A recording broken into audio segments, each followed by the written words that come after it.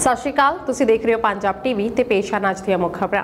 ਸਾਬਕਾ ਅਕਾਲੀ ਮੰਤਰੀ ਵਿਕਰਮ ਮਜੀਠੀਆ ਦੀਆਂ ਮੁਸ਼ਕਲਾਂ ਮੁੜ ਤੋਂ ਵੱਧ ਸਕਦੀਆਂ ਨੇ। ਈਡੀ ਦੇ ਵੱਲੋਂ ਵਿਕਰਮ ਮਜੀਠੀਆ ਦੇ ਉੱਪਰ ਸ਼ਿਕੰਜਾ ਕੱਸਣ ਦੀ ਤਿਆਰੀ ਕੀਤੀ ਜਾ ਰਹੀ ਹੈ। ਜਿਸ ਦੇ ਨਾਲ ਨਾ ਸਿਰਫ ਵਿਕਰਮ ਮਜੀਠੀਆ ਦੀਆਂ ਮੁਸ਼ਕਲਾਂ ਵਧਣਗੀਆਂ, ਸਗੋਂ ਉਹਨਾਂ ਦੇ ਪਰਿਵਾਰ ਦੀਆਂ ਵੀ ਮੁਸ਼ਕਲਾਂ ਵਧਣ ਦੇ ਆਸਾਰ ਨੇ। ਦਰਅਸਲ, ਪੰਜਾਬ ਸਰਕਾਰ ਨੂੰ ਈਡੀ ਦੇ ਵੱਲੋਂ ਇੱਕ ਚਿੱਠੀ ਲਿਖੀ ਗਈ ਹੈ, ਜਿਸ ਦੇ ਵਿੱਚ ਈਡੀ ਨੇ ਵਿਕਰਮ ਮਜੀਠੀਆ ਦੇ ਸਾਲ 2006-7 ਤੋਂ ਲੈ ਕੇ ਸਾਲ 2018-19 ਤੱਕ ਦੇ ਵਿੱਤੀ ਲੈਣ ਦੇਣ ਦੇ ਵੇਰਵੇ ਮੰਗੇ ਨੇ। ਦੱਸਦੀ ਹੈ ਕਿ ਆਈਪੀਐਸ ਅਧਿਕਾਰੀ ਹਰਚਰਨ ਸਿੰਘ ਭੁੱਲਰ ਦੀ ਅਗਵਾਈ ਵਾਲੀ ਵਿਸ਼ੇਸ਼ ਜਾਂਚ ਟੀਮ ਪਹਿਲਾਂ ਹੀ ਇਸ ਮਾਮਲੇ ਦੀ ਤਫਤੀਸ਼ ਕਰ ਰਹੀ ਹੈ।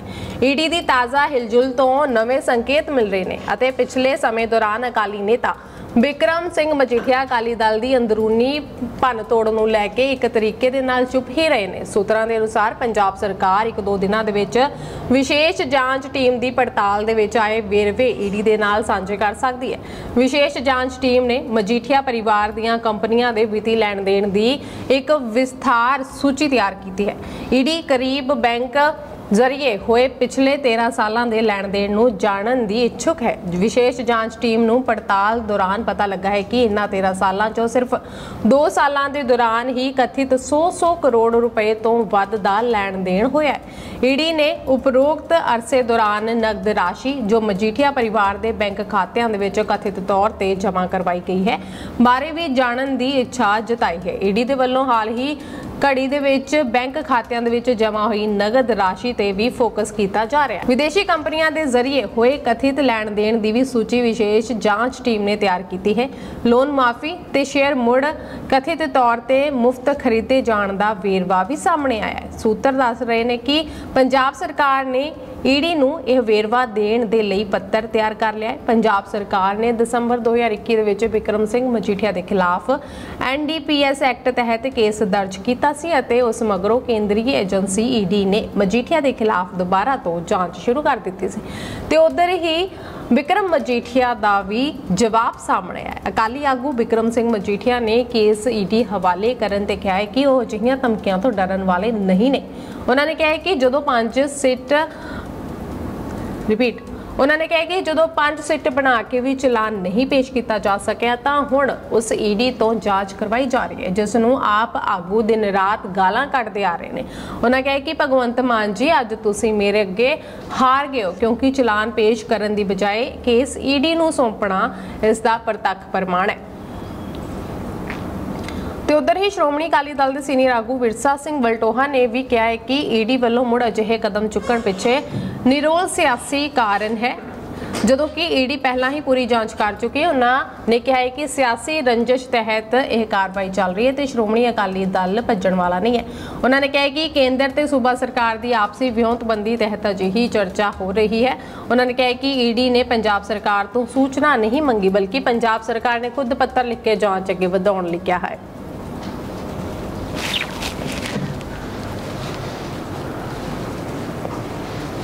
ਤੇ ਹੁਣ ਇਸ ਮਾਮਲੇ ਨੂੰ ਲੈ ਕੇ ਪੰਜਾਬ ਦੇ ਵਿੱਚ ਸਿਆਸਤ ਭਖਦੀ ਹੋਈ ਨਜ਼ਰ ਆ ਰਹੀ ਹੈ।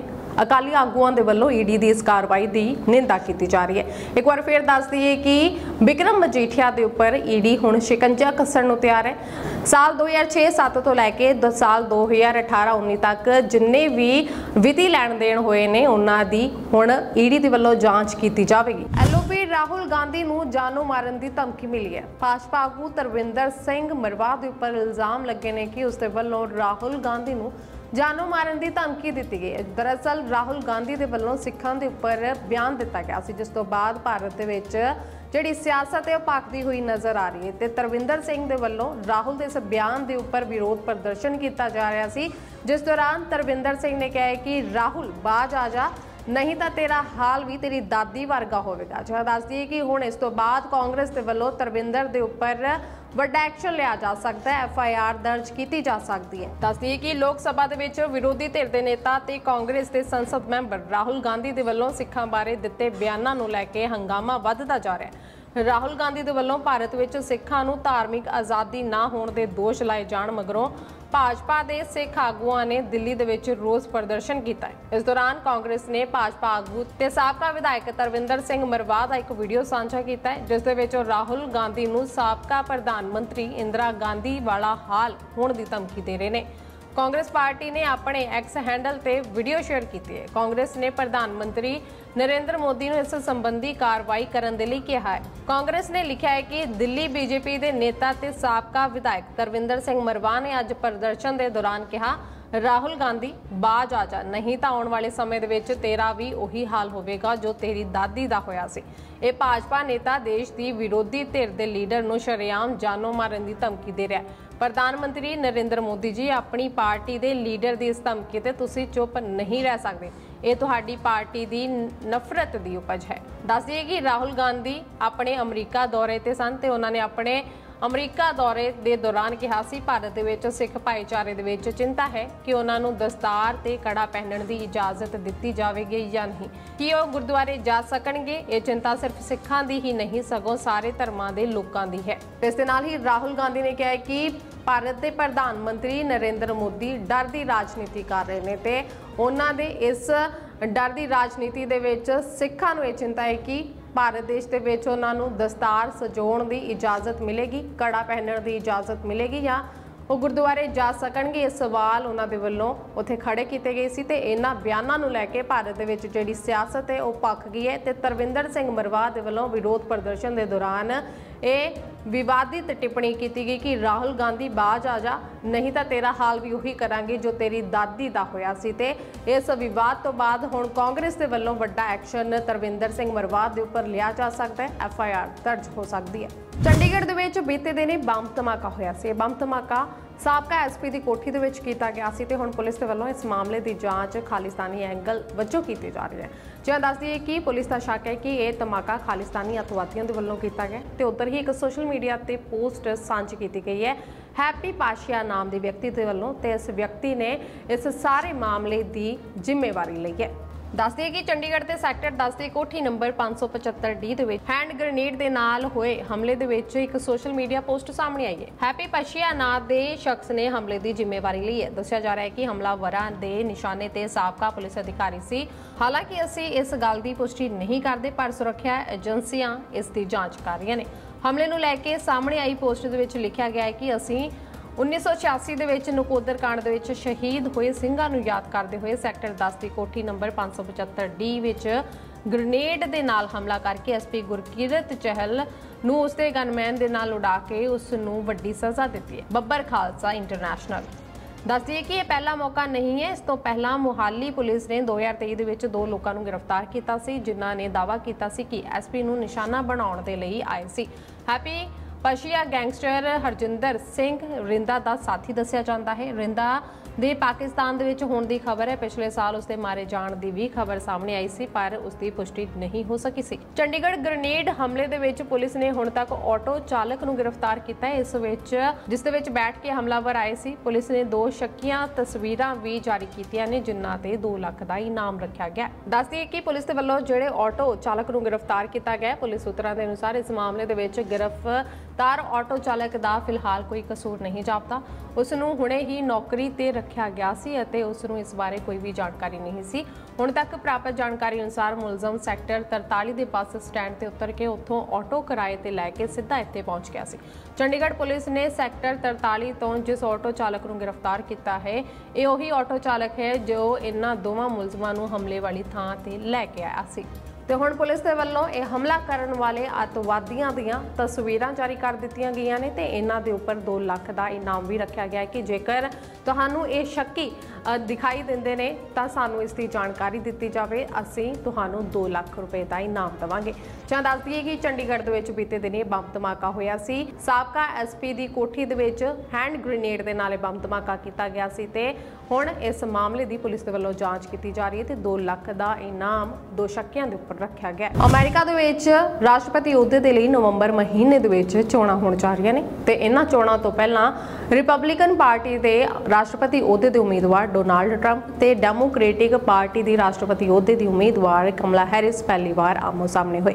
ਇਹਨਾਂ ਦੋਨਾਂ ਦੇ ਵੱਲੋਂ ਅਮਰੀਕਾ ਦੇ ਮੁੱਦਿਆਂ ਨੂੰ ਚੁੱਕਿਆ ਗਿਆ। ਉਹਨਾਂ ਦੇ ਉੱਪਰ ਦਲੀਲਾਂ ਪੇਸ਼ ਕੀਤੀਆਂ ਗਈਆਂ। ਜੀ ਹਾਂ, ਦੱਸ ਦਈਏ ਕਿ ਅਰਥਚਾਰੇ, ਸੁਰੱਖਿਆ ਤੇ ਗਰਭਪਾਤ ਵਰਗੇ ਮੁੱਦੇ ਇਹਨਾਂ ਦੇ ਵੱਲੋਂ ਚੁੱਕੇ ਗਏ। ਉਹਨਾਂ ਦੇ ਉੱਪਰ ਦਲੀਲਾਂ ਪੇਸ਼ ਕੀਤੀਆਂ ਗਈਆਂ ਤੇ ਇਸ ਬਹਿਸ ਦੇ ਵਿੱਚ ਕਮਲਾ ਹੈਰਿਸ ਟਰੰਪ ਦੇ ਉੱਪਰ ਭਾਰੀ ਨਜ਼ਰ ਆਈ। ਜਾਂ ਦੱਸ ਦਈਏ ਕਿ ਕਮਲਾ ਹੈਰਿਸ ਨੇ ਡੋਨਾਲਡ ਟਰੰਪ ਨੂੰ ਕਈ ਮੁੱਦਿਆਂ ਤੇ ਘੇਰ ਲਿਆ।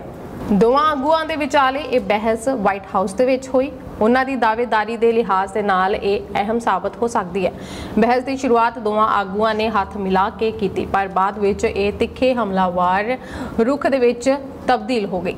ਪੈਂਸਿਲਵੇਨੀਆ ਦੇ ਵਿੱਚ 90 ਮਿੰਟ ਚੱਲੀ ਇਸ ਬਹਿਸ ਦੇ ਦੌਰਾਨ ਟਰੰਪ ਨੇ ਹੈਰਿਸ ਨੇ ਅਗਲੇ 4 ਸਾਲ ਲਈ ਆਪੋ ਆਪਣਾ ਨਜ਼ਰੀਆ ਪੇਸ਼ ਕੀਤਾ, ਜਿਸ ਨੂੰ ਉਹ ਰਾਸ਼ਟਰਪਤੀ ਬਣਨ ਤੇ ਲਾਗੂ ਕਰਨਾ ਚਾਹੁੰਦੇ ਨੇ। ਉਪ ਰਾਸ਼ਟਰਪਤੀ ਹੈਰਿਸ, ਜਿਨ੍ਹਾਂ ਦੀ ਉਮਰ 59 ਸਾਲ ਹੈ, ਉਹਨਾਂ ਨੇ ਆਪਣੀ ਗੱਲ ਸਮੇਟਦਿਆਂ ਅੰਤ ਦੇ ਵਿੱਚ ਟਿੱਪਣੀ ਕੀਤੀ। ਮੈਨੂੰ ਲੱਗਦਾ ਹੈ ਕਿ ਤੁਸੀਂ ਅੱਜ ਰਾਤ ਦੇਸ਼ ਲਈ ਦੋ ਬਿਲਕੁਲ ਵੱਖ-ਵੱਖ ਨਜ਼ਰੀਏ ਸੁਣੇ ਨੇ। ਇੱਕ ਜੋ ਭਵਿੱਖ ਵੱਲ ਕੇਂਦਰਿਤ ਹੈ ਅਤੇ ਦੂਸਰਾ ਜੋ ਅਤੀਤ ਵੱਲ ਕੇਂਦਰਿਤ ਹੈ, ਤੇ ਸਾਨੂੰ ਪਿੱਛੇ ਲੈ ਜਾਣ ਵਾਲਾ ਹੈ, ਪਰ ਅਸੀਂ ਪਿੱਛੇ ਨਹੀਂ ਜਾ ਰਹੇ ਹਾਂ।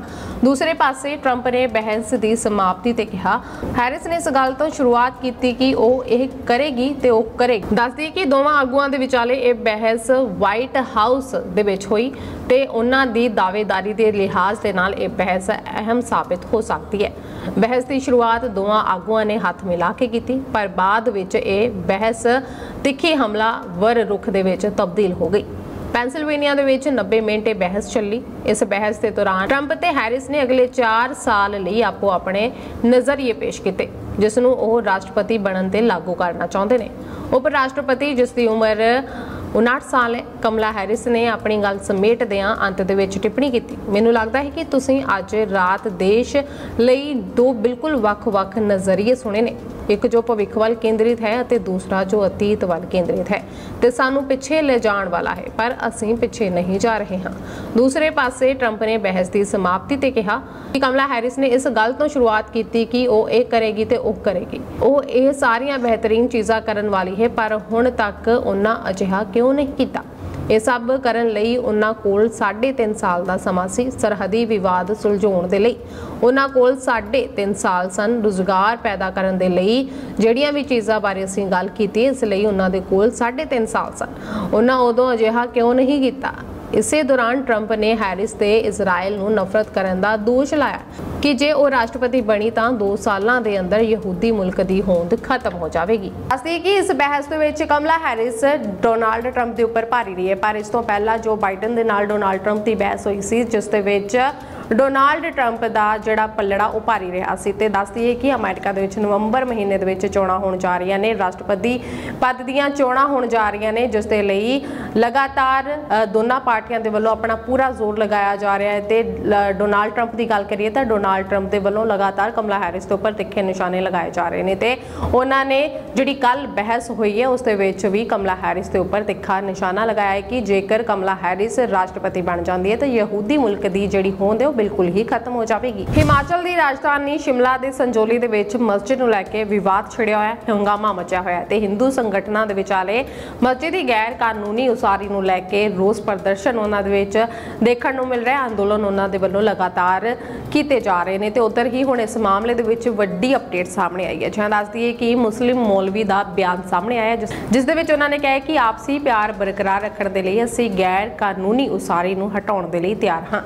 ਜੇਕਰ ਸਾਨੂੰ ਇਜਾਜ਼ਤ ਮਿਲਦੀ ਹੈ, ਤਾਂ ਅਸੀਂ ਖੁਦ ਇਸ ਨੂੰ ਹਟਾ ਦੇਵਾਂਗੇ। ਸੰਜੋਲੀ ਦੀ ਮਸਜਿਦ ਕਮੇਟੀ ਅੱਜ ਅਚਾਨਕ ਸ਼ਿਮਲਾ ਨਗਰ ਨਿਗਮ ਦੇ ਕਮਿਸ਼ਨਰ ਭੁਪਿੰਦਰ ਅਤਰੀ ਨੂੰ ਮਿਲਣ ਪਹੁੰਚੀ। ਇਸ ਕਮੇਟੀ ਨੇ ਨਗਰ ਨਿਗਮ ਕਮਿਸ਼ਨਰ ਨੂੰ ਮੰਗ ਪੱਤਰ ਸੌਂਪਿਆ, ਜਿਸ ਦੇ ਵਿੱਚ ਮੁਸਲਿਮ ਭਾਈਚਾਰੇ ਦੇ ਲੋਕਾਂ ਨੇ ਅਦਾਲਤ ਦਾ ਫੈਸਲਾ ਆਉਣ ਤੇ ਨਜਾਇਜ਼ ਉਸਾਰੀ ਨੂੰ ਖੁਦ ਢਾਉਣ ਦੀ ਪੇਸ਼ਕਸ਼ ਕੀਤੀ ਹੈ। ਨਗਰ ਨਿਗਮ ਕਮਿਸ਼ਨਰ ਨੇ ਕਿਹਾ ਕਿ ਮਸਜਿਦ ਕਮੇਟੀ ਖੁਦ ਇਸ ਗੱਲ ਤੇ ਸਹਿਮਤ ਹੈ ਕਿ ਅਦਾਲਤ ਦਾ ਫੈਸਲਾ ਆਉਣ ਤੱਕ ਮਸਜਿਦ ਦੀਆਂ ਤਿੰਨ ਗੈਰ ਕਾਨੂੰਨੀ ਮੰਜ਼ਿਲਾਂ ਨੂੰ ਸੀਲ ਕਰ ਦਿੱਤਾ ਜਾਵੇ। ਉਹ ਇਸ ਲਈ ਤਿਆਰ ਹੈ, ਮਸਜਿਦ ਕਮੇਟੀ ਦੀ ਇਸ ਪਹਿਲ ਤੋਂ ਬਾਅਦ ਸ਼ਿਮਲਾ ਦੇ ਵਿੱਚ ਮਾਹੌਲ ਸ਼ਾਂਤ ਹੋਣ ਦੀ ਉਮੀਦ ਕੀਤੀ ਜਾ ਰਹੀ ਹੈ। ਇਸ ਦੇ ਨਾਲ ਹੀ ਸੰਜੋਲੀ ਦੇ ਵਿੱਚ ਲਾਠੀ ਚਾਰਜ ਦੇ ਵਿਰੋਧ ਦੇ ਵਿੱਚ ਸ਼ਿਮਲਾ ਦੇ ਵਪਾਰੀ ਗੁੱਸੇ ਦੇ ਵਿੱਚ ਆ ਗਏ ਨੇ। ਵਪਾਰ ਮੰਡਲ ਨੇ ਪੁਲਿਸ ਦੀ ਇਸ ਕਾਰਵਾਈ ਦੇ ਵਿਰੋਧ ਦੇ ਵਿੱਚ ਅੱਜ ਬਾਜ਼ਾਰ ਬੰਦ ਰੱਖੇ ਨੇ। ਸ਼ਿਮਲਾ ਦੇ ਮੁੱਖ ਬਾਜ਼ਾਰ ਦੇ ਨਾਲ-ਨਾਲ ਸ਼ਹਿਰ ਦੇ ਸਾਰੇ ਉਪਨਗਰਾਂ ਦੇ ਬਾਜ਼ਾਰਾਂ ਦੇ ਵਿੱਚ ਵੀ ਦੁਕਾਨਾਂ ਬੰਦ ਰੱਖੀਆਂ ਗਈਆਂ ਨੇ। ਇਸ ਦੌਰਾਨ ਸ਼ਿਮਲਾ ਦੇ ਵਪਾਰੀਆਂ ਨੇ ਸ਼ੇਰੇ ਪੰਜਾਬ ਤੋਂ ਡੀਸੀ ਦਫ਼ਤਰ ਤੱਕ ਰੋਸ ਰੈਲੀ ਕੱਢੀ ਅਤੇ ਸ਼ਿਮਲਾ ਦੇ ਐਸਪੀ ਨੂੰ ਬਰਖਾਸਤ ਕਰਨ ਦੀ ਮੰਗ ਕੀਤੀ ਹੈ। ਦਰਅਸਲ, ਸੰਜੋਲੀ ਦੇ ਵਿੱਚ ਪਿਛਲੇ ਬੁੱਧਵਾਰ ਨੂੰ ਪੁਲਿਸ ਨੇ ਮਸਜਿਦ ਦੇ ਵਿਰੋਧ ਦੇ ਵਿੱਚ ਪ੍ਰਦਰਸ਼ਨ ਕਰਨ ਦੇ ਲਈ ਲਾਠੀ ਚਾਰਜ ਅਤੇ ਪਾਣੀ ਦੀਆਂ ਤੋਪਾਂ ਦੀ ਵਰਤੋਂ ਕਰਕੇ ਭੀੜ ਨੂੰ ਖਿੰਡਾਇਆ ਸੀ। ਪੁਲਿਸ ਦੀ ਇਸ ਕਾਰਵਾਈ ਤੋਂ ਸ਼ਿਮਲਾ ਦੇ ਵਪਾਰੀ ਨਾਰਾਜ਼ ਹਨ। ਵਪਾਰ ਮੰਡਲ ਨੇ ਦੁਪਹਿਰ 1 ਵਜੇ ਤੱਕ ਦੁਕਾਨਾਂ ਬੰਦ ਰੱਖਣ ਦਾ ਫੈਸਲਾ ਕੀਤਾ ਇਸ ਕਾਰਨ ਮਾਮਲਾ ਸੁਲਝਣ ਦੀ ਬਜਾਏ ਉਲਝਦਾ ਹੀ ਜਾ ਰਿਹਾ ਹੈ। ਪ੍ਰਦਰਸ਼ਨਕਾਰੀਆਂ ਨੇ ਵੀ ਚੇਤਾਵਨੀ ਦਿੱਤੀ ਹੈ ਕਿ ਅਦਾਲਤ ਦੇ ਫੈਸਲੇ ਤੱਕ ਮਸਜਿਦ ਨੂੰ ਸੀਲ ਕਰ ਦਿੱਤਾ ਜਾਵੇ। ਜੇਕਰ ਅਜਿਹਾ ਨਾ ਕੀਤਾ ਗਿਆ, ਤਾਂ ਅੰਦੋਲਨ ਤੇਜ਼ ਕੀਤਾ ਜਾਵੇਗਾ। ਮਸਜਿਦ ਵਿਵਾਦ ਨੂੰ ਲੈ ਕੇ ਸ਼ਿਮਲਾ ਤੋਂ ਭੜਕੀ ਵਿਰੋਧ ਦੀ ਚੰਗਿਆੜੀ ਹੁਣ ਪੌਂਟਾ ਸਾਹਿਬ ਤੇ ਮੰਡੀ ਤੱਕ ਵੀ ਪਹੁੰਚ ਗਿਆ ਇਸ ਕਾਰਨ ਮਾਹੌਲ ਹੋਰ ਜ਼ਿਆਦਾ ਤਣਾਅਪੂਰਨ ਹੁੰਦਾ ਜਾ ਰਿਹਾ ਦੱਸਦੀ ਹੈ ਕਿ ਇਸ ਮਸਜਿਦ ਦੀ ਉਸਾਰੀ 1947 ਦੇ ਵਿੱਚ ਹੋਈ ਸੀ ਤੇ 2010 ਦੇ ਵਿੱਚ ਜਦੋਂ ਇਸ ਨੂੰ ਪੱਕਾ ਕੀਤਾ ਜਾਣ ਲੱਗਾ ਸੀ, ਤਾਂ ਇਸੇ ਨਾਲ ਹੀ ਗੈਰ ਕਾਨੂੰਨੀ ਉਸਾਰੀ ਵੀ ਹੋਣ ਲੱਗੀ ਸੀ, ਜਿਸ ਦੀ ਸ਼ਿਕਾਇਤ ਨਗਰ ਨਿਗਮ ਨੂੰ ਦਿੱਤੀ ਗਈ ਸੀ। ਤੇ ਹੁਣ ਜਿਹੜਾ ਤਾਜ਼ਾ ਮਾਮਲਾ ਸਾਹਮਣੇ ਆਇਆ। 31 ਅਗਸਤ ਨੂੰ ਆਇਆ ਜਦੋਂ ਦੋ ਧਿਰਾਂ ਦੇ ਵਿਚਾਲੇ ਇਸ ਮਸਜਿਦ ਨੂੰ ਲੈ ਕੇ ਲੜਾਈ ਹੋਈ ਸੀ। ਤੇ ਇਸ ਲੜਾਈ ਤੋਂ ਬਾਅਦ ਮਾਹੌਲ ਸੰਜੋਲੀ ਦੇ ਵਿੱਚ, ਸ਼ਿਮਲਾ ਦੇ ਵਿੱਚ ਬਹੁਤ ਜ਼ਿਆਦਾ ਤਣਾਅਪੂਰਨ ਹੋ ਗਿਆ। ਪੁਲਿਸ ਕਰਮੀਆਂ ਦੀਆਂ ਟੀਮਾਂ ਉੱਥੇ ਤਾਇਨਾਤ ਕੀਤੀਆਂ ਗਈਆਂ ਨੇ। ਪ੍ਰਦਰਸ਼ਨਕਾਰੀਆਂ ਨੂੰ ਸ਼ਾਂਤ ਕਰਨ ਦੇ ਲਈ ਉਹਨਾਂ ਦੇ ਉੱਪਰ ਲਾਠੀ ਚਾਰਜ ਤੇ ਪਾਣੀ ਦੀਆਂ ਤੋਪਾਂ ਵੀ ਵਰਾਈਆਂ ਗਈਆਂ ਨੇ, ਜਿਸ ਦੇ ਮੱਦੇਨਜ਼ਰ ਵਪਾਰੀਆਂ ਦੇ ਵਿੱਚ ਗੁੱਸਾ ਦੇਖਣ ਨੂੰ ਮਿਲਿਆ। ਵਪਾਰੀਆਂ ਨੇ ਆਪਣੀਆਂ ਦੁਕਾਨਾਂ ਬੰਦ ਰੱਖੀਆਂ ਨੇ ਬਾਜ਼ਾਰ ਸ਼ਿਮਲਾ ਦੇ ਵਿੱਚ ਤੇ ਸ਼ਿਮਲਾ ਦੇ ਨਾਲ ਲੱਗਦੇ ਹੋਰ ਉਪਨਗਰਾਂ ਦੇ ਵਿੱਚ ਬੰਦ ਰਹੇ ਨੇ ਤੇ ਹੁਣ ਇਸ ਮਾਮਲੇ ਦੇ ਵਿੱਚ ਅਗਲਾ ਕੀ ਮੋੜ ਆਉਂਦਾ ਉਹ ਦੇਖਣ ਵਾਲੀ ਗੱਲ ਰਹੇਗੀ। ਪੰਜਾਬ ਦੇ ਮਸ਼ਹੂਰ ਗਾਇਕ ਕਰਨ ਔਜਲਾ ਦੇ ਨਾਲ ਜੁੜੀ ਹੋਈ ਖਬਰ ਸਾਹਮਣੇ ਆਈ ਹੈ। ਕਰਨ ਔਜਲਾ ਨੂੰ ਗੀਤਾਂ ਦੀ ਮਸ਼ੀਨ ਕਿਹਾ ਜਾਂਦਾ ਹੈ ਤੇ ਕਰਨ ਔਜਲਾ ਨੇ ਹੁਣ ਨਵਾਂ ਰਿਕਾਰਡ ਆਪਣੇ ਨਾਮ ਕਰ ਲਿਆ, ਜਿਸ ਦੇ ਵਿੱਚ ਉਹਨਾਂ ਨੇ ਦਿਲਜੀਤ ਦੋਸਾਂਝ ਨੂੰ ਵੀ ਪਛਾੜ ਦਿੱਤਾ ਹੈ। ਜਾਂ ਦੱਸਦੀ ਕਿ ਕਰਨ ਔਜਲਾ ਨੇ ਗਲੋਬਲ ਡਿਜੀਟਲ ਆਰਟਿਸਟ ਦੀ ਲਿਸਟ ਦੇ ਵਿੱਚ ਉਹਨਾਂ ਦਾ ਨਾਮ ਸ਼ਾਮਲ ਹੋ ਗਿਆ ਹੈ? ਤੇ ਇਸੇ ਨਾਲ ਹੀ ਕਰਨ ਔਜਲਾ ਪੰਜਾਬ ਦੇ ਪਹਿਲੇ ਤੇ ਭਾਰਤ ਦੇ ਤੀਸਰੇ ਐਸੇ ਕਲਾਕਾਰ ਬਣ ਗਏ ਨੇ, ਜਿਨ੍ਹਾਂ ਦਾ ਨਾਮ ਗਲੋਬਲ ਡਿਜੀਟਲ ਆਰਟਿਸਟ ਲਿਸਟ ਦੇ ਵਿੱਚ ਸ਼ਾਮਲ ਹੋਇਆ ਹੈ। ਕਰਨ ਔਜਲਾ ਨੇ ਸ਼ਕੀਰਾ, ਪਿਟਬੁਲ, ਜਸਟਿਨ ਬੀਬਰ ਤੇ ਦਿਲਜੀਤ ਦੋਸਾਂਝ ਨੂੰ ਪਛਾੜ ਦਿੱਤਾ ਹੈ। ਇਸ ਲਿਸਟ ਦੇ ਵਿੱਚ ਦੇਸ਼ ਵਿਦੇਸ਼ ਤੋਂ ਉਹਨਾਂ ਕਲਾਕਾਰਾਂ ਦੀ ਸੂਚੀ ਤਿਆਰ ਕੀਤੀ ਜਾਂਦੀ ਹੈ, ਜੋ ਕਿ ਗਲੋਬਲ ਤੌਰ ਤੇ ਆਪਣੇ ਪਰਫਾਰਮੈਂਸ ਨੂੰ ਲੈ ਕੇ ਚਰਚਾ ਦੇ ਵਿੱਚ ਰਹਿੰਦੇ ਨੇ ਤੇ ਜਿਨ੍ਹਾਂ ਨੂੰ ਲੋਕ ਕਾਫੀ ਜ਼ਿਆਦਾ ਪਸੰਦ ਕਰਦੇ ਨੇ। ਦੱਸਦੀ ਕਿ ਕਰਨ ਔਜਲਾ ਇੱਕ ਚੰਗੇ ਗਾਇਕ ਹੋਣ ਦੇ ਨਾਲ-ਨਾਲ ਚੰਗੇ ਸਟੇਜ ਪਰਫਾਰਮਰ ਵੀ ਨੇ। ਕਰਨ ਔਜਲਾ ਨੇ ਪੰਜਾਬੀ 뮤직 ਇੰਡਸਟਰੀ ਨੂੰ ਬਹੁਤ ਸਾਰੇ ਸੁਪਰ ਹਿੱਟ ਗੀਤ ਦਿੱਤੇ ਨੇ। ਬਾਲੀਵੁੱਡ ਤੋਂ ਬਾਅਦ ਕਰਨ ਔਜਲਾ ਨੇ ਹਾਲ ਹੀ ਦੇ ਵਿੱਚ ਵਿੱਕੀ ਕੌਸ਼ਲ ਦੀ ਫਿਲਮ ਰਾਹੀਂ ਬਾਲੀਵੁੱਡ ਵਿੱਚ ਡੈਬਿਊ ਕੀਤਾ ਹੈ। ਉਹਨਾਂ ਦਾ ਗਾਣਾ ਤੌਬਾ ਤੌਬਾ ਲੋਕਾਂ ਦੇ ਵੱਲੋਂ ਕਾਫੀ ਜ਼ਿਆਦਾ ਪਸੰਦ ਕੀਤਾ ਗਿਆ ਤੇ ਹੁਣ ਕਰਨ ਔਜਲਾ ਨੇ ਇਹ ਇੱਕ ਨਵਾਂ ਰਿਕਾਰਡ ਆਪਣੇ ਨਾਮ ਕਰ ਲਿਆ ਹੈ। ਤੇ ਪਿਛਲੇ ਦਿਨਾਂ ਦੀ ਗੱਲ ਕਰੀਏ ਤਾਂ ਕਰਨ ਔਜਲਾ ਯੂਕੇ ਦੇ ਵਿੱਚ ਆਪਣੇ ਸ਼ੋਅ ਲਗਾ ਰਹੇ ਸਨ ਤੇ ਉਸ ਦੌਰਾਨ ਉਹਨਾਂ ਦੇ ਉੱਪਰ ਇੱਕ ਪ੍ਰਸ਼ੰਸਕ ਦੇ ਵੱਲੋਂ ਬੂਟ ਸੁੱਟ ਦਿੱਤਾ ਗਿਆ ਸੀ, ਜਿਸ ਤੋਂ ਬਾਅਦ ਮਾਮਲਾ ਕਾਫੀ ਜ਼ਿਆਦਾ ਭਖਦਾ ਹੋਇਆ ਨਜ਼ਰ ਆਇਆ ਸੀ ਤੇ ਪਰ ਹੁਣ ਕਰਨ ਔਜਲਾ ਦੇ ਵੱਲੋਂ ਇਹ ਨਵਾਂ ਰਿਕਾਰਡ ਆਪਣੇ ਨਾਮ ਕਰ ਲਿਆ ਗਿਆ ਹੈ ਤੇ ਉਹਨਾਂ ਨੇ ਗਲੋਬਲ ਡਿਜੀਟਲ ਆਰਟਿਸਟ ਦੀ ਲਿਸਟ ਦੇ ਵਿੱਚ ਆਪਣਾ ਨਾਮ ਸ਼ਾਮਿਲ ਕਰਵਾ ਲਿਆ ਹੈ ਤੇ ਇਸ ਦੇ ਨਾਲ ਹੀ ਦੇਸ਼ ਵਿਦੇਸ਼ ਦੇ ਵੱਡੇ ਵੱਡੇ ਆਰਟਿਸਟਾਂ ਨੂੰ ਉਹਨਾਂ ਨੇ ਪਿੱਛੇ ਛੱਡ ਦਿੱਤਾ ਦਿਲਜੀਤ ਦੋਸਾਂਝ ਨੂੰ ਵੀ ਉਹਨਾਂ ਨੇ ਪਛਾੜ ਦਿੱਤਾ ਪੰਜਾਬ ਦੇ ਮੌਸਮ ਦੀ ਗੱਲ ਕਰੀਏ ਤਾਂ ਸੂਬੇ ਦੇ ਵਿੱਚ ਅੱਤ ਦੀ ਗਰਮੀ ਪਿਛਲੇ ਕਈ ਦਿਨਾਂ ਤੋਂ ਪੈ ਰਹੀ ਹੈ, ਜਿਸ ਨੇ ਲੋਕਾਂ ਨੂੰ ਕਾਫੀ ਪਰੇਸ਼ਾਨ ਕੀਤਾ ਹੋਇਆ ਪਰ ਇਸ ਦੇ ਨਾਲ ਹੀ ਹੁਣ ਮੌਸਮ ਵਿਭਾਗ ਦੇ ਵੱਲੋਂ ਰਾਹਤ ਦੀ ਖਬਰ ਦਿੱਤੀ ਗਈ ਹੈ। ਦੱਸਦੀ ਹੈ ਕਿ ਮੌਸਮ ਵਿਭਾਗ ਦਾ ਕਹਿਣਾ ਹੈ ਕਿ ਅੱਜ ਪੰਜਾਬ ਦੇ ਕਈ ਜ਼ਿਲ੍ਹਿਆਂ ਦੇ ਵਿੱਚ ਚੰਗੀ ਬਰਸਾਤ ਹੋ ਸਕਦੀ ਹੈ, ਜਿਸ ਦੇ ਕਾਰਨ ਲੋਕਾਂ ਨੂੰ ਗਰਮੀ ਤੋਂ ਰਾਹਤ ਮਿਲੇਗੀ। ਦੱਸਦੀ ਹੈ ਕਿ ਪੰਜਾਬ ਦੇ ਵਿੱਚ ਕਈ ਥਾਵਾਂ ਉੱਤੇ ਬੀਤੇ ਦਿਨੀ ਮੀਂਹ ਪਿਆ ਹੈ। ਇਸ ਦੇ ਨਾਲ ਹੀ ਅੱਜ ਪੰਜਾਬ ਤੇ ਚੰਡੀਗੜ੍ਹ ਵਿੱਚ ਮੀਂਹ ਪੈਣ ਦੀ ਸੰਭਾਵਨਾ ਮੌਸਮ ਵਿਭਾਗ ਦੇ ਵੱਲੋਂ ਜਤਾਈ ਗਈ ਹੈ। ਪਿਛਲੇ 24 ਘੰਟਿਆਂ ਦੇ ਵਿੱਚ ਖੁਸ਼ਕ ਮੌਸਮ ਦੇ ਕਾਰਨ ਤਾਪਮਾਨ ਦੇ ਵਿੱਚ 2.5 ਡਿਗਰੀ ਵਾਧਾ ਦਰਜ ਕੀਤਾ ਗਿਆ ਸੂਬੇ ਦੇ ਵਿੱਚ ਤਾਪਮਾਨ ਇੱਕ ਵਾਰ ਫਿਰ 37 ਡਿਗਰੀ ਨੂੰ ਪਾਰ ਕਰ ਗਿਆ ਫਰੀਦਕੋਟ ਦਾ ਤਾਪਮਾਨ 37.2 ਡਿਗਰੀ ਦਰਜ ਕੀਤਾ ਗਿਆ। ਇਸ ਦੇ ਨਾਲ ਹੀ ਚੰਡੀਗੜ੍ਹ ਦੇ ਤਾਪਮਾਨ ਦੀ ਗੱਲ ਕਰੀਏ ਤਾਂ ਚੰਡੀਗੜ੍ਹ ਦੇ ਤਾਪਮਾਨ ਦੇ ਵਿੱਚ 3.6 ਡਿਗਰੀ ਦੇ ਵਾਧੇ ਤੋਂ ਬਾਅਦ ਵੱਧ ਤੋਂ ਵੱਧ ਤਾਪਮਾਨ 36.4 ਡਿਗਰੀ ਦਰਜ ਕੀਤਾ ਗਿਆ ਅੱਜ ਚੰਡੀਗੜ੍ਹ, ਪਠਾਨਕੋਟ, ਗੁਰਦਾਸਪੁਰ, ਹੁਸ਼ਿਆਰਪੁਰ, ਨਵਾਂ ਸ਼ਹਿਰ, ਰੂਪਨਗਰ, ਐਸਏਐਸ ਨਗਰ, ਫਤਿਹਗੜ੍ਹ ਸਾਹਿਬ, ਪਟਿਆਲਾ, ਸੰਗਰੂਰ ਤੇ ਮਾਨਸਾ ਸਮੇਤ ਪੰਜਾਬ ਦੇ 10 ਜ਼ਿਲ੍ਹਿਆਂ ਦੇ ਵਿੱਚ ਆਮ ਮੀਂਹ ਪੈਣ ਦੀ ਸੰਭਾਵਨਾ ਹੈ, ਜਦਕਿ ਬਾਕੀ ਸਾਰੇ ਜ਼ਿਲ੍ਹਿਆਂ ਦੇ ਵਿੱਚ ਮੀਂਹ ਪੈ ਸਕਦਾ ਹੈ। ਵੀਰਵਾਰ ਤੋਂ ਇਲਾਵਾ ਸ਼ੁੱਕਰਵਾਰ ਨੂੰ ਵੀ ਅਜਿਹਾ ਮੌਸਮ ਰਹਿਣ ਦੀ ਸੰਭਾਵਨਾ ਮੌਸਮ ਵਿਭਾਗ ਦੇ ਵੱਲੋਂ ਜਤਾਈ ਗਈ ਹੈ। ਪਿਛਲੇ 7 ਦਿਨਾਂ ਦੇ ਵਿੱਚ ਪੰਜਾਬ 'ਚ 45% ਘੱਟ ਤੇ ਚੰਡੀਗੜ੍ਹ ਦੇ ਵਿੱਚ 27% ਘੱਟ ਬਰਸਾਤ ਦਰਜ ਕੀਤੀ ਗਈ ਹੈ। ਪੰਜਾਬ ਦੇ ਵਿੱਚ 5 ਤੋਂ 11 ਸਤੰਬਰ ਤੱਕ ਆਮ ਤੌਰ ਤੇ 24.3 ਮਿਲੀਮੀਟਰ ਬਰਸਾਤ ਦਰਜ ਕੀਤੀ ਜਾਂਦੀ ਹੈ, ਜਦੋਂ ਕਿ ਇਹਨਾਂ ਦਿਨਾਂ ਦੇ ਦੌਰਾਨ ਪੰਜਾਬ ਦੇ ਵਿੱਚ ਸਿਰਫ 13.2 ਮਿਲੀਮੀਟਰ ਮੀਂਹ ਹੀ ਪਿਆ ਹੈ। ਚੰਡੀਗੜ੍ਹ ਦੇ ਵਿੱਚ ਆਮ ਤੌਰ ਤੇ 71.5 ਮਿਲੀਮੀਟਰ ਬਰਸਾਤ ਹੁੰਦੀ ਹੈ, ਜਦੋਂ ਕਿ ਹੁਣ ਤੱਕ ਸਿਰਫ 51.9 ਮਿਲੀਮੀਟਰ ਬਾਰਿਸ਼ ਹੀ ਹੋਈ ਹੈ। ਜਦੋਂ ਕਿ ਗਵਾਂਡੀ ਸੂਬੇ ਹਰਿਆਣਾ ਦੀ ਗੱਲ ਕਰੀਏ ਤਾਂ ਹਰਿਆਣਾ ਦੇ ਵਿੱਚ ਇਨ੍ਹਾਂ 7 ਦਿਨਾਂ ਦੇ ਵਿੱਚ 75% ਵੱਧ ਬੱਦਲ ਛਾਏ ਹੋਏ ਨੇ। ਤੇ ਇਸ ਦੇ ਨਾਲ ਹੀ ਦੱਸ ਦਈਏ ਕਿ ਇਨ੍ਹਾਂ 7 ਦਿਨਾਂ ਦੇ ਵਿੱਚ ਦੋ ਜ਼ਿਲ੍ਹੇ ਤਰਨਤਾਰਨ ਤੇ ਮੁਕਤਸਰ ਅਜਿਹੇ ਨੇ ਜਿੱਥੇ ਬਿਲਕੁਲ ਵੀ ਮੀਂਹ ਨਹੀਂ ਪਿਆ। ਜਦੋਂ ਕਿ ਫਾਜ਼ਿਲਕਾ ਅਤੇ ਬਠਿੰਡਾ ਦੇ ਵਿੱਚ 98% ਘੱਟ, ਅੰਮ੍ਰਿਤਸਰ ਦੇ ਵਿੱਚ 94% ਕਪੂਰਥਲਾ ਦੇ ਵਿੱਚ 93% ਤੇ ਹੁਸ਼ਿਆਰਪੁਰ ਦੇ ਵਿੱਚ 82% ਘੱਟ ਮੀਂਹ ਪਿਆ ਹੈ। ਇਸ ਤੋਂ ਇਲਾਵਾ ਦੋ ਜ਼ਿਲ੍ਹੇ ਰੂਪਨਗਰ ਤੇ ਫਤਿਹਗੜ੍ਹ ਸਾਹਿਬ ਅਜਿਹੇ ਨੇ ਜਿੱਥੇ ਆਮ ਨਾਲੋਂ ਵੱਧ ਮੀਂਹ ਪਿਆ ਹੈ। ਇੱਕ ਵਾਰ ਫਿਰ ਦੱਸ ਕਿ ਅੱਜ ਪੰਜਾਬ ਦੇ ਕਈ ਜ਼ਿਲ੍ਹਿਆਂ ਦੇ ਵਿੱਚ ਆਮ ਤੋਂ ਵੱਧ ਬਰਸਾਤ ਹੋਣ ਦੀ ਸੰਭਾਵਨਾ ਮੌਸਮ ਵਿਭਾਗ ਦੇ ਵੱਲੋਂ ਜਤਾਈ ਗਈ ਹੈ। ਦੱਸ ਕਿ ਪਿਛਲੇ ਕੁਝ ਦਿਨਾਂ ਤੋਂ ਪੰਜਾਬ ਦੇ ਵਿੱਚ ਗਰਮੀ ਬਹੁਤ ਜ਼ਿਆਦਾ ਪੈ ਰਹੀ ਹੈ, ਜਿਸ ਨੇ ਲੋਕਾਂ ਨੂੰ ਬਹੁਤ ਜ਼ਿਆਦਾ ਪਰੇਸ਼ਾਨ ਕੀਤਾ ਹੋਇਆ ਹੈ ਤੇ ਇਸ ਦੇ ਨਾਲ ਹੀ ਹੁਣ ਮੌਸਮ ਵਿਭਾਗ ਦੇ ਵੱਲੋਂ ਰਾਹਤ ਵਾਲੀ ਇਹ ਖਬਰ ਦਿੱਤੀ ਗਈ ਹੈ ਕਿ ਅੱਜ ਪੰਜਾਬ ਦੇ ਕਈ ਜ਼ਿਲ੍ਹਿਆਂ ਦੇ ਵਿੱਚ ਬਰਸਾਤ ਹੋ ਸਕਦੀ ਹੈ, ਜਿਸ ਦੇ ਕਾਰਨ ਲੋਕਾਂ ਨੂੰ ਗਰਮੀ ਤੋਂ ਰਾਹਤ ਮਿਲਣ ਦੀ ਉਮੀਦ ਹੈ। ਤੁਹਾਡੇ ਇਲਾਕੇ ਦੇ ਵਿੱਚ ਮੌਸਮ ਦਾ ਕੀ ਹਾਲ ਹੈ? ਸਾਨੂੰ ਕਮੈਂਟ ਕਰਕੇ ਜ਼ਰੂਰ ਦੱਸੋ। ਇਹ ਸਨ ਅੱਜ ਦੀਆਂ ਮੁੱਖ ਖਬਰਾਂ ਪੰਜਾਬ ਦੀ ਹਰ ਛੋਟੀ ਤੇ ਵੱਡੀ ਅਪਡੇਟ ਦੇ ਨਾਲ ਜੁੜੇ ਰਹਿਣ ਲਈ ਦੇਖਦੇ ਰਹੋ ਪੰਜਾਬ ਟੀਵੀ